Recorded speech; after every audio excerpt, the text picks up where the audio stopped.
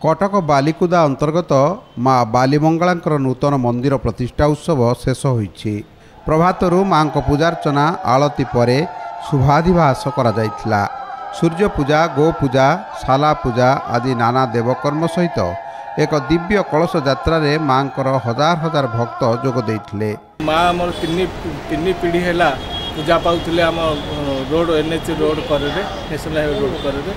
ଛୋଟ ଚାଳଘରୁ ଆଜି ଆପଣମାନେ ଦେଖୁଥିବେ ବିଶାଳ ମନ୍ଦିର ଜାକଜକମ ସହିତ ତିଆରି ହୋଇଛି ଏବଂ ମା କଣାଙ୍କର ଆଶୀର୍ବାଦରେ ଆଜି ଆମେ ଏପର୍ଯ୍ୟନ୍ତ ପହଞ୍ଚି ପାରିଛୁ। ଆଗକୁ ମଧ୍ୟ ଆହୁରି ଜାକଜକମରେ ପହଞ୍ଚି ପାରିବେ। ଏ ମାଙ୍କର କରୁଣା ଏ ଅଞ୍ଚଳ ମଧ୍ୟରେ ପ୍ରସିଦ୍ଧ ଲାଭ କରିଛି।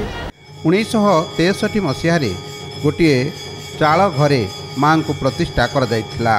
ଉଣେଇଶହ ଏକାଅଶୀ ମସିହାରେ ଏକ ନୂତନ ମନ୍ଦିର ମାଙ୍କ ପାଇଁ ନିର୍ମାଣ କରାଯାଇ ମାଙ୍କୁ ସେଥିରେ ପ୍ରତିଷ୍ଠା କରାଯାଇଥିଲା।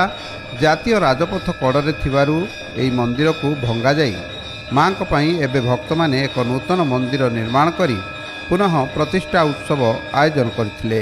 ବାଲିକୁଦା ଗ୍ରାମର ଇଏ ହେଉଛନ୍ତି ଅରିଧ୍ୟତି ଗ୍ରାମ ଦେବତୀ ମା ବାଲିମଙ୍ଗଳା।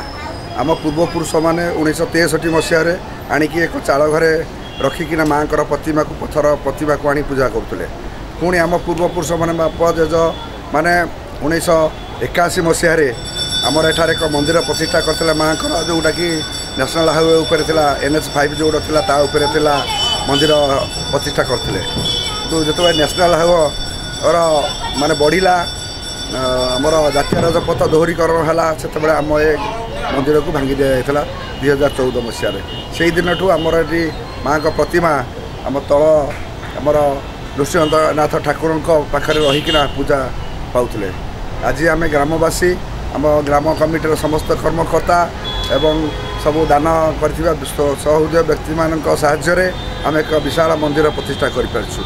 ଏହି ପ୍ରତିଷ୍ଠା ଉତ୍ସବ ଯଜ୍ଞ ପାଇଁ ଏକ ବିଶାଳ କଳସ ଯାତ୍ରାରେ ହଜାର ହଜାର ଭକ୍ତ ଯୋଗ ଦେଇ କଳସ ବୁଡ଼ାଇ କାଠଯୋଡ଼ି ନଦୀରୁ ଆଣିଥିଲେ।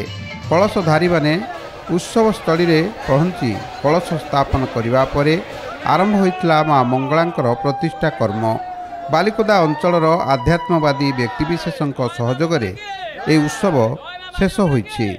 ମାଙ୍କର ଅପାର କରୁଣା ଦୀର୍ଘ ଦିନ ହେଲାଣି ଯେତେବେଳେ ଏନ୍ ଏଚ୍ ଆମ ମାଆଙ୍କୁ ମନ୍ଦିର ଭାଙ୍ଗିଦେଲା। ଦୁର୍ଦ୍ଦିନ ଅବସ୍ଥାରେ ମା ପଡ଼ିଥିଲେ। ତେଣୁକରି ମାଆଙ୍କର ଦୟା ହେଲା।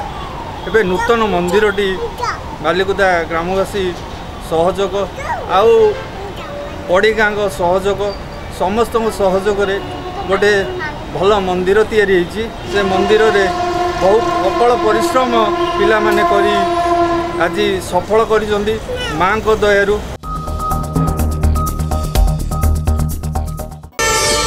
ପ୍ରାର୍ଥନା ଆମ ଆନନ୍ଦର ଉତ୍ସ।